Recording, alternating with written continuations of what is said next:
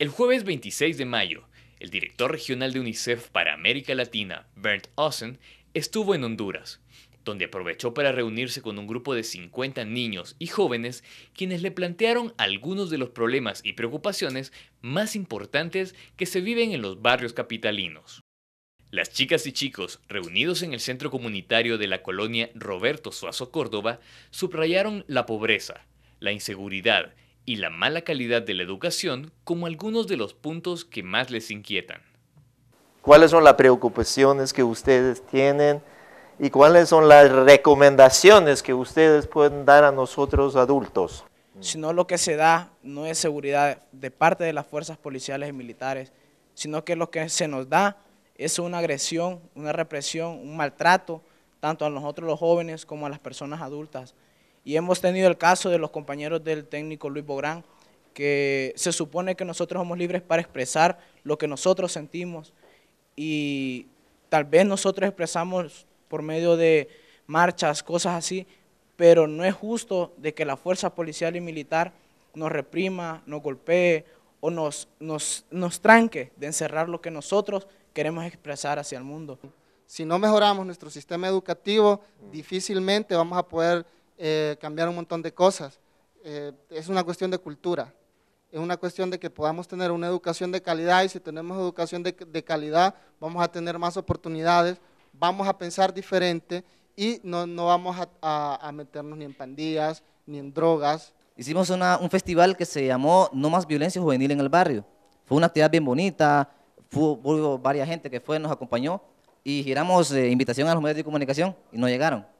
Quizás, no sé, les dio miedo, no les gustó porque era pequeño, creo, el, show ese.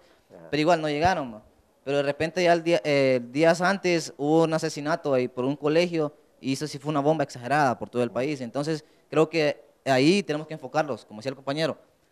Hay que dar la noticia de, de, la violencia, sí, pero enfoquémonos en lo, en lo, mejor, en lo que nosotros estamos haciendo en este momento, en querer cambiar el país. Este, en los colegios públicos hay alumnos excelentes, hay que reconocerlo, pero hay niños que no estudian y los que estudian es porque sacrifican algo, hacen algo.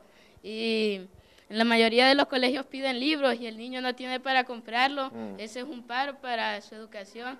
Puede que el niño es excelente, pero si no tiene para comprar un libro, se queda retrasado. O sea, es mucho más el riesgo que corremos nosotros las mujeres, incluso aunque vayamos acompañadas de un varón. Agarran al varón, y nosotras quedamos ahí, y nosotras así como que somos las más afectadas en ese aspecto. Nosotros miramos un policía, a veces hasta de los mismos policías, nosotros nos dicen, ay, adiós mi amor, y que no sé qué. Nosotros así como que pienso que me voy a sentir segura porque está él ahí y más bien me está acosando. Si yo le contara mucho en mi barrio, da tristeza, porque la recreación de los niños es andar recogiendo las balas que los mareros dejan ahí. ¿Ah? y ponérselo de collares es la recreación de ellos, o agarrar, una, o agarrar un palo y andar jugando guerrillas, que es la recreación de ellos.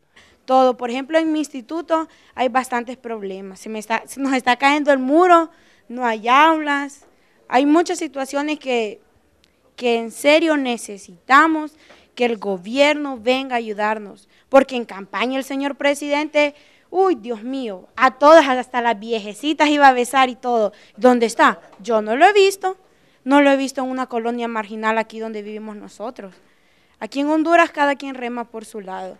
Necesitamos que nos escuchen, porque si nosotros no hacemos huelga, nadie aquí, nadie hace nada. Eh, aquí la mayoría de las familias eh, son pobres, pues nosotros vivimos en un país pobre. Aquí hay personas que sobreviven con menos de 20 lempiras diarios.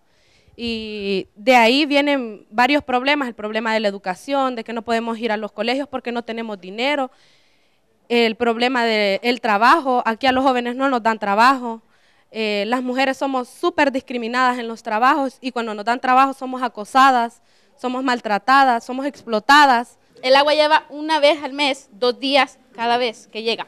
Entonces, el, el barril de agua vale 30 lempiras el agua que nos llega al mes se nos gasta en dos, tres días.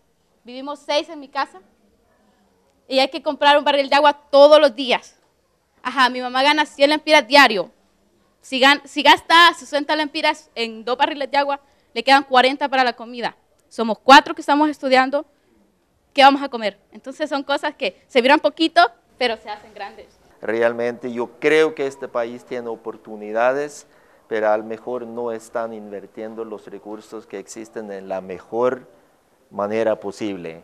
Y yo creo que ustedes pueden ayudar a asegurar que los recursos que sí existen en el país se invierten en la infancia y en los jóvenes para que ustedes tengan la oportunidad no únicamente de terminar una educación, pero también realizar algunos de los sueños que tienen en la vida.